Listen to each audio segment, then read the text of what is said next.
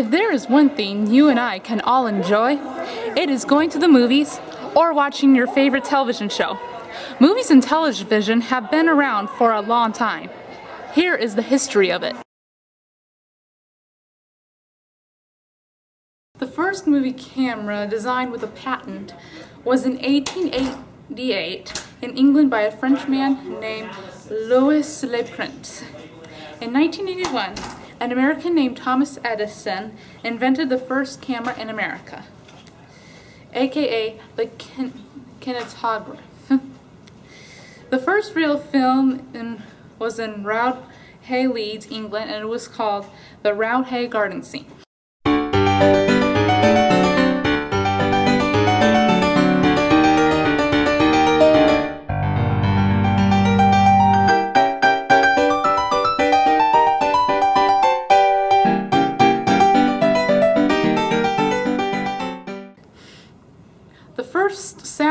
Film was Al Jolson's The Jazz Singer, and it was released in 1927. By the 1930s, all film had sound. Before the 1960s, all films and later most were in black and white. The first film to use color was The Wizard of Oz in 1939. The film started off in black and white and stepped into the Technicolor full World of Oz. Oh my gosh.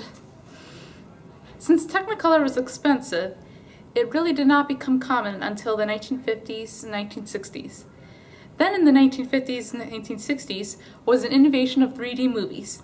3D graphics were invented in the Victorian era through a device called the stereoscope. The device had a double picture placed in a stand which the viewer his eyes would cross the picture through two lenses. The first 3D movies were anaglyphs. In other words, the red picture overlaps a cyan picture, and the glasses had a red and cyan lens. In the later 2000s, the innovation of RealD 3D came into the movies where two pictures overlapping each other and the glasses would cross those two pictures together. Now in the 2010s comes along digital 3D, where 3D is a lot sharper. Also, 3D is becoming more common.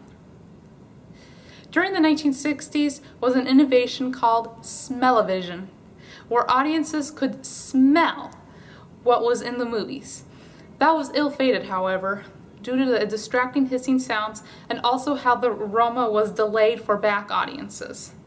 When that didn't work, Movies like Rugrats Go Wild and Spy Kids 4 had scratch and sniff cards. The first person to make sound effects, the person who makes the sound effects is called the Foley artist. The position is named after Jack Foley, the first man to synchronize sound with film. During the 1980s, there was a popular invention of the video home system or VHS. People could bring their movies home and not wait for them to go on TV anymore. During the late 90s, the video was innovated into the DVD. The DVD had a much more advantage over the VHS. The DVD had a lot more features. You can skip to a scene without fast forwarding. DVDs wouldn't wear out as easily like a VHS would. The DVD was a lot lighter and thinner versus a bulky video cassette. And the DVD wouldn't break in the player or get tangled up aka 8 like the VHS would. When you were finished with your movie, you didn't need to rewind it over and over again like the VHS. The VHS ceased production in the mid-2000s. Now, there are also Blu-ray discs along with the DVD. Television was first invented in 1925 as a mechanical television. In the same year, color television was invented. An American named Philo Farnsworth invented the first electronic television and created the first image, a straight line.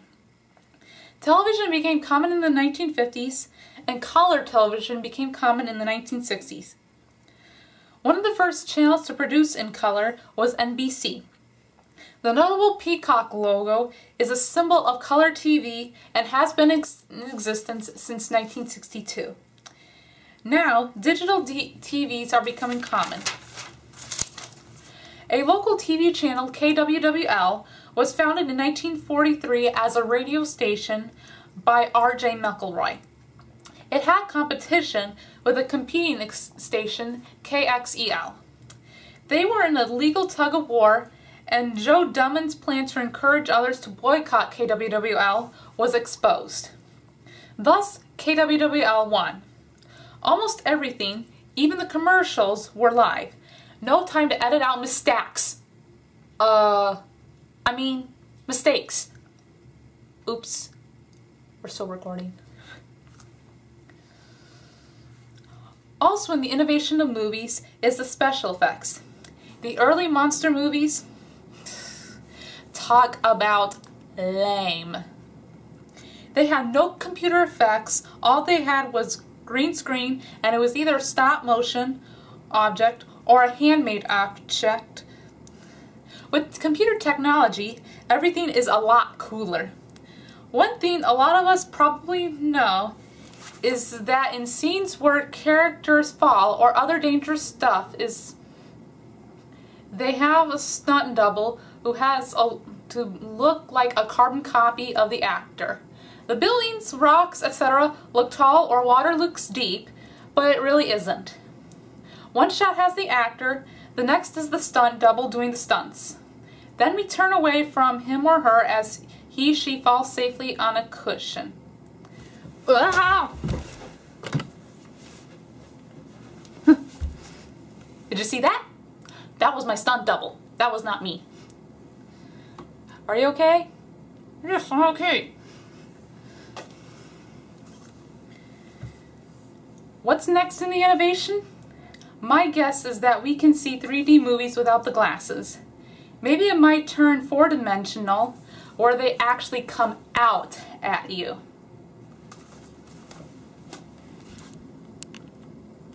Who knows? But I do know that as long as they keep on innovating, it just gets better and better. I'm Hannah Ackerman, and this is History Alive, coming soon to a theater near you. Oh, good show.